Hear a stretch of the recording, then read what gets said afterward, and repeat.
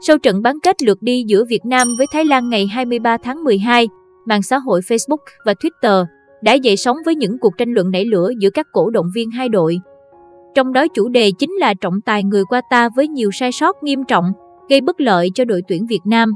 Chính vì vậy mà trước khi hai đội tái đấu, các cổ động viên Thái Lan đã kêu gọi đội nhà phải thắng thêm trận nữa để Việt Nam không còn lý do đổ lỗi. Trên trang Facebook của Hiệp hội bóng đá Thái Lan phát và trang đội tuyển bóng đá Thái Lan có rất nhiều bình luận của cổ động viên Thái Lan. Cổ động viên Kambanat Seyfrikoson viết, thua trận đầu tiên, họ đổ lỗi quá nhiều. Ngày mai chúng ta sẽ thắng trận nữa xem họ còn gì để nói. Cổ động viên Suba Bong In Thai Chai bình luận, hãy thắng thêm lần nữa, để chứng minh cho Việt Nam thấy họ hoàn toàn yếu hơn so với chúng ta. Hãy khiến cho các cổ động viên của họ im lặng. Cổ động viên Việt Nam không thể chấp nhận nổi thất bại. Họ nói quá nhiều sau khi để thua Thái Lan.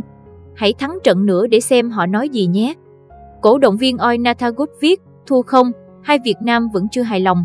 Có lẽ chúng ta nên thắng thêm một lần nữa để thỏa mãn họ.